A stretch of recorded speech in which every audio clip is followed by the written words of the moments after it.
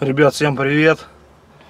А, Ролик снимаю для зрителей, тех, кто смотрит мои продвижения по ремон- по ремонту восьмерки. А, Тогда вот я снимал в гараже, когда она стояла, не видно было все эти дыры. Давайте посмотрим, что же у нас тут за бардак. Что получилось и что у нас прогнило. То есть, как видим, днище у нас под замену. А когда машина стояла в гараже у команды Стальной Волк, мне ребят предложили наварить здесь куски, а, проварить временно днище.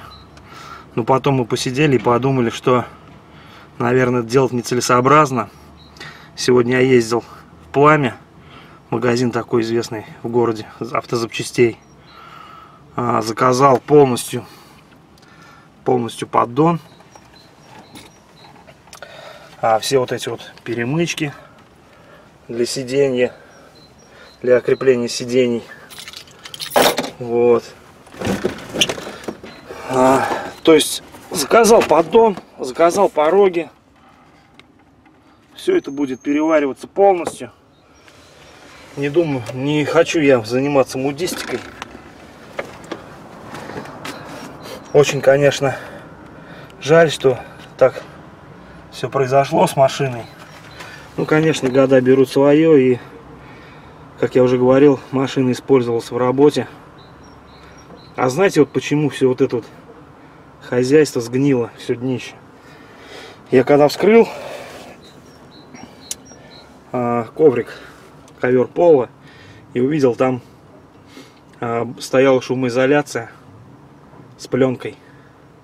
Вот из-за этой пленки изгнило днище. Потому что оно не дышало. Вот.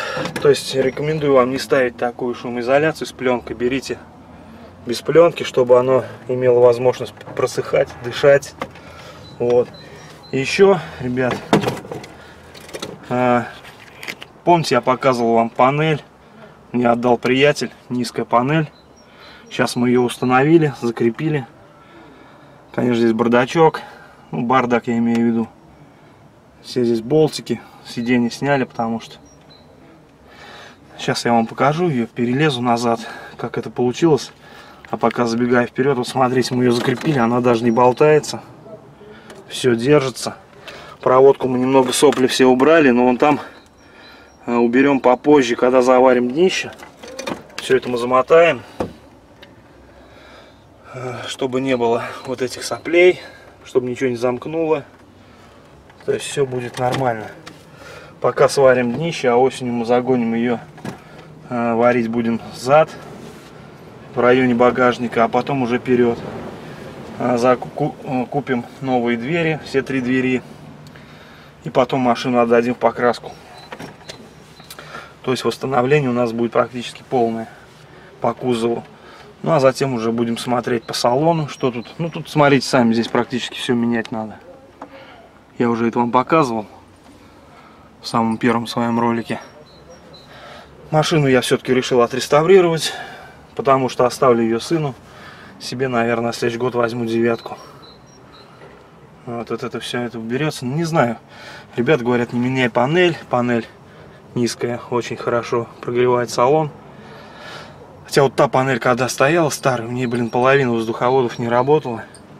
Здесь мы все поставили, закрепили. Сейчас все дует, продувается, все отличненько. Единственное, что трахтит электродвигатель. Но это мы потом, когда варить будем, снимем. Снимем панель, посмотрим печку, что за дела. А сейчас я вам покажу. Перелезу назад, покажу панель, как она стоит, как смотрится. Ну, в общем, вот такая картина. Панель сейчас закреплена, все отлично. Единственное, что вот меня добивает, это вот комбинация приборов. Мы ее тоже заменим, нашел я в интернете. Продается у нас в Тольятти. Цена 600 рублей, состояние новый, ну практически новый. То есть там не побито, ничего, не царапин нету. Все приборы работают. В общем, вот так вот сейчас она смотрится. Пока, ребят, по восьмерке все. Э, на сварку мы ее отгоним через неделю, как заберем кузовщину. И сразу на сварку. Процесс сварки я, наверное, вам не смогу показать. Потому что работаю допоздна и нет такой возможности. А покажу вам, скорее всего, готовый результат. Мы ее будем грунтовать, промазывать днище. Купим новую шумоизоляцию нормальную. И пока под днищу все. Поездим до осени, так как есть. Потом сварим багажник и переднюю часть автомобиля. То есть решил я ее отреставрировать как положено. Наверное, куплю обвесы передний, задний, боковые накладки. Тюнинг будет называться «Я робот». Цвет, наверное, оставлю этот. А пока вот на этом все, ребят. Давайте пока. Следите за новостями.